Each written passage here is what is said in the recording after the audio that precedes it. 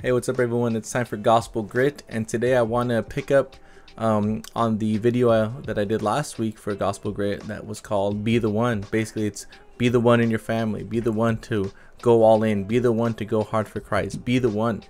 And in the same, um, I guess you could say, uh, culture, in the same reality, in the same circumstances, uh, this is be the one wherever you are, and wherever you are, be all in. Wherever you are, go uh, as as hard as you can for Christ there.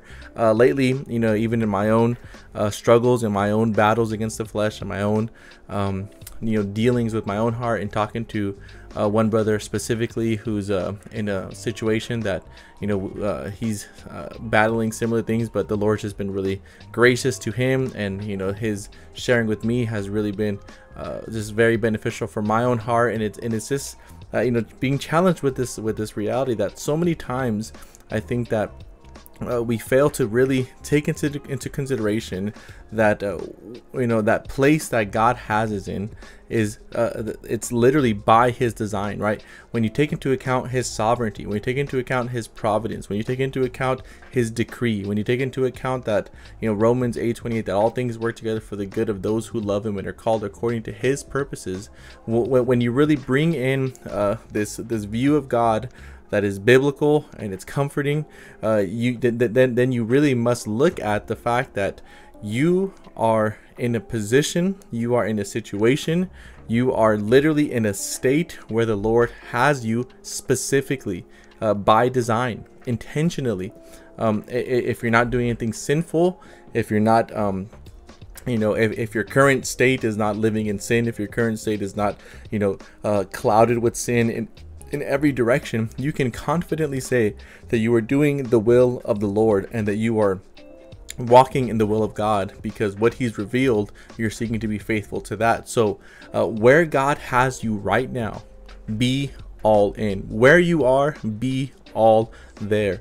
Um, even in 1 Corinthians 7, uh, Paul's addressing this very thing, and he's talking about things like marriage and and, and singleness and, and you know those who are widowed and, uh, um, and all that, and that's the context. But even more specifically, he begins to go even into things like circumcision, uncircumcision, bond servants, and and basically, it's this, it's this in 1 Corinthians 7, verse 17. He says this Only let each person lead the life that the Lord has assigned to him. Did you catch that? The Lord has assigned to him, that individual, something specific to him. And that person must lead the life that the Lord has assigned to him and to which God has called him. This is my rule in all the churches. Was anyone at this at the time of his call already circumcised? Let him seek to not remove the marks of circumcision. Was anyone at the time of his call uncircumcised? Let him not seek circumcision. Basically saying for neither circumcision counts for anything nor uncircumcision, but keeping the commandments of God. There goes that will of God. If you're keeping the commandments, then those elements where you find yourself don't matter as much. What matter what matters more is keeping the commandments, walking in the revealed will of God. And he goes even further. He says, um, each one should remain in the condition in which he was called. Were you a bondservant when you when called? Do not be concerned about it. But again, if you can gain your freedom, avail yourself of the opportunity. For he who has who was called in the Lord as a bondservant is a freed man of the Lord. Likewise, he who is free when when is called, when called, is a bondservant of Christ. You were bought with a price. Do not become bondservants of men. Listen to this. So, brothers, in whatever condition each was called, let him remain with God. There, let him remain with God. There, let him be with God. And I, I love the caveat that Paul says if you were a bondservant, then be content in that. But if you can avail yourself of the freedom, do so. So, what I'm trying to get at here is stop wishing things were different. Stop um uh, you know, saying I- am not going to do anything until da da da da. I- am just going to live my life on cruise control until I have a different job, until I have um, a different, um, you know, environment, until I'm in a new house, until I'm in a new um, setting, until I'm in a new city, until I'm in a new whatever. Uh, wherever you find yourself today, uh, and again, if there's if there's no uh, harboring or, or living in sin, and that, that, that you cause or that you're doing that you're willfully walking in darkness. Wherever you you find yourself today stop wishing things were different and make the most of where you are today. Uh, make the most of the state you find yourself today. Make the most of where literally locationally um, uh, work wise, house wise, uh, family wise, one kid, two kid, three kids, no kid, whatever it is. Stop saying, oh, when this happens or when that happens or when you know this changes over here. That no, go hard wherever you are today. The grass is always greener on the other side. No, no, no. The grass is greener where you water it. The grass is greener where you're investing. The grass is greenest where you are going the hardest for Christ. So analyze your situation. Be wise. Look at the scripture, look at where you find yourself and ask yourself, considering all all that I see in my life, how can I make the most of the glory of Christ where He has me? In the circumstances that He has me today, can I go hard for Christ there? Can I excel there? Can I live and glory in Christ in whatever I find myself today? Can I take dominion there? Can I apply the Lordship of Christ there? Can I extol and magnify the Lord there? Can I savor His gospel there? Can, can I really say I'm bringing the glory of Christ to bear where He has me today? So, wherever you find yourself, remember you were bought with the with, with the price.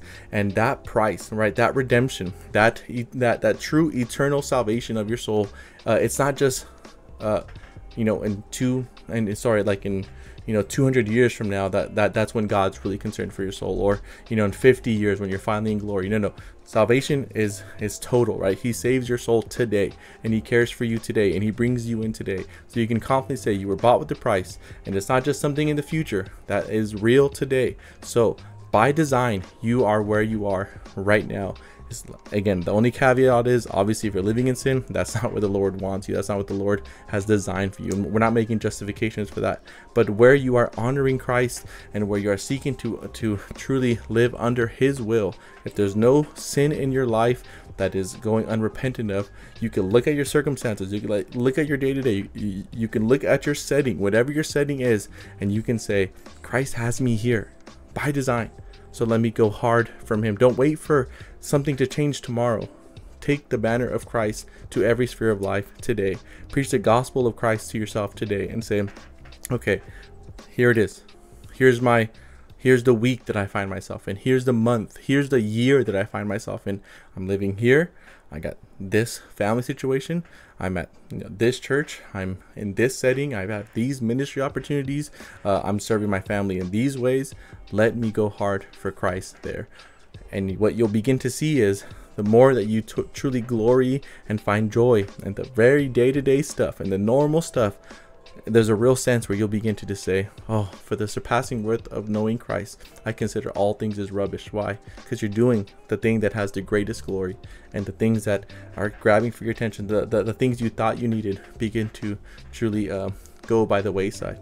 And then many times, actually, it's not a guarantee, obviously, but many times the Lord ends up re- rewarding such faithfulness, such obedience. And, and th- th- there's a tendency where, you know, when you're faithful in the small, the Lord's going to entrust uh, bigger things to you. But don't worry about that. Don't look forward to that. Don't say, I'll do it when that happens. No, be all in where you are today. Be the one where you are today to truly take the glory of Christ and, and bring that to bear on the way you do anything and everything where you are. Go hard for Christ, church.